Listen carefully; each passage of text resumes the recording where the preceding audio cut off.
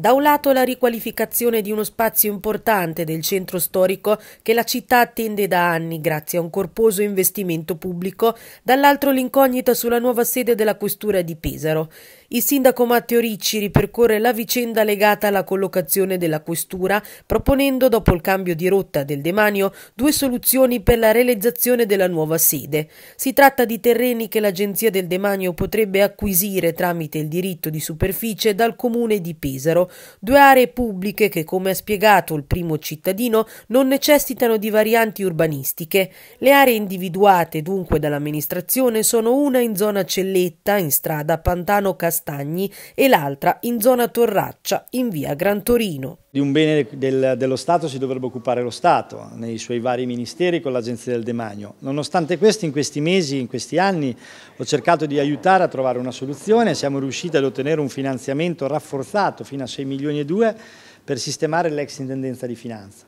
C'è stata molta lentezza da parte dell'Agenzia del Demanio regionale nel portare avanti il progetto, complicazioni nate nel percorso autorizzativo, anche con l'intervento della sovrintendenza, però eravamo arrivati alla fine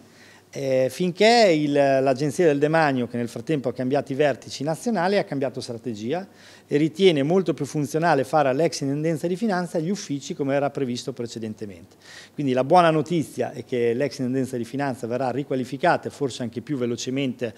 eh, del previsto per farci uffici pubblici, eh, un bene chiuso da decine di anni. La notizia negativa è che non c'è luogo per fare la sede della questura. A quel punto io potevo disinteressarmi, ma credo che ognuno deve dare la propria mano e ho chiesto all'Agenzia del Demanio eh, se potevo dare una mano a un piano B. L'Agenzia del Demanio ha provato di nuovo sui locali della caserma, ma il Ministero della Difesa ha chiuso ancora una volta le porte e l'unica possibilità che loro vedono è quella di terreni comunali eh, sui quali di, mh, eh, cedere il diritto di superficie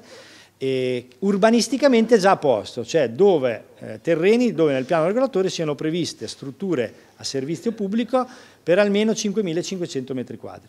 Fatta questa ricerca che ovviamente ha stretto al minimo tutte le possibilità, sono emersi due terreni del comune, uno vicino al Palasport e l'altro vicino al nuovo casello di Santa Veneranda, eh, per la realizzazione della nuova questura. Se decideranno che uno di quei due terreni può andare bene, noi andremo in Consiglio Comunale e discuteremo in Consiglio Comunale sul diritto di superficie.